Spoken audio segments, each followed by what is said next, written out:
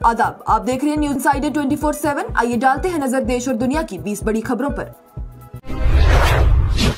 जम्मू में फौजी तनसीबात के करीब देखी गई मशकूक सरगर्मियाँ, शहर के मजाफत में अलर्ट कर दिया गया जारी। श्रीनगर में जी ट्वेंटी इजलास में चंद दिन बाकी, तैयारियाँ पहुँची आखिरी मराहल में। दहशतगर्दी के खिलाफ मज़बूत पैगाम के अलावा सियाहत पर बातचीत मुलतवक्की। रियासी में सलाल डैम के करीब मशकूक हालत में मिला मुर्दा तेंदुआ। मकामी लोगों ने ज़ाहिर की हैरानी। पुलिस एहलकार पहुँचे मौके पर। जम्मू कश्मीर समेत मुल्क भर में 45 मुकामात पर रोज़गार मेले का इनका। वज़ीर आज़म नरेंद्र मोदी ने किया खिताब। पीएम मोदी ने इकहत्तर हज़ार नौजवानों को सौंपा तकरूरी लेटर।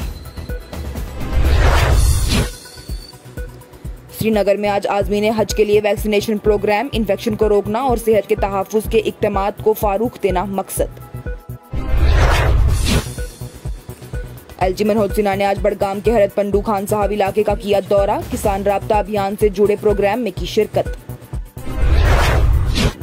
जम्मू के साथ साथ कश्मीर के दर्जा हरारत में देखने को मिली उछाल। महकमा मौसमियात के मुताबिक 18 मई को यूटी के कुछ हिस्सों में हो सकती है बारिश। टेरर फंडिंग मामले में एसआईए के जम्मू पुंछ में छापेमारी जारी। कार्यवाही में मोबाइल और इलेक्ट्रॉनिक डिवाइसेस कर लिए गए जब्त।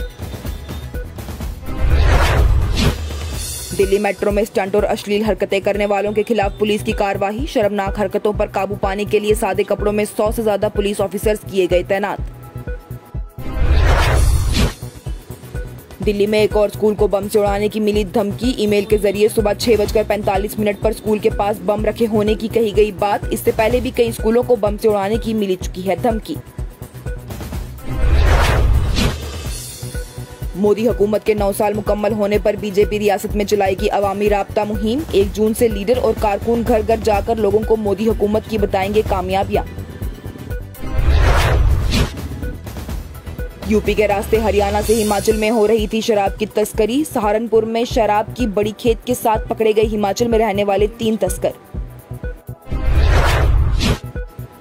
हिमाचल प्रदेश के डिप्टी सीएम मुकेश अग्निहोत्री को मिला एक और महकमा। सीएम ने कॉपरेटिव डिपार्टमेंट की सौंपी ज़िम्मेदारी। मुकेश अग्निहोत्री पहले ही ट्रांसपोर्ट और वाटर पावर समेत तीन महकमों के हैं वज़ीर। हमीरपुर में मरकजी वज़ीर अनुराग ठाकुर ने अफसरों को मरकज की स्कीमों को वक्त पर मुकम्मल करने की दी हिदायत। अनुराग ठाकुर ने लोगों से मिलकर सुने उनके मिसाइल। बोले, मोदी हुकूमत में मुल्क कर रहा है तरक्की। सोलन में बाल बाल बचे महकमे तालीम के डिप्टी डायरेक्टर, दफ्तर की छत का प्लस्तर गिरने से हुए घायल घायल डिप्टी डायरेक्टर को अस्पताल में किया गया भर्ती। राजस्थान के 12 जिलों में तेज आंधी, बारिश का अलर्ट जारी 40 किलोमीटर की स्पीड से चलेगी आंधी, रियासत में पारा 4 डिग्री तक गिरा नीचे। पाकिस्तान की कौमी असेंबली में करारदाद की गई मंजूर, इमरान खान की रिहाई को लेकर सुप्रीम कोर्ट के खिलाफ की गई थी करारदाद। हिंदुस्तान में मजहबी आज़ादी पर अमेरिका का बड़ा बयान। अमेरिकी वज़ीर खारजा एंटनी बिल्कन बोले, भारत में माइनॉरिटीज पर जुल्म सितम है जारी, जिसके लिए हिंदुस्तानी सरकार को आगाह करता रहेगा अमेरिका।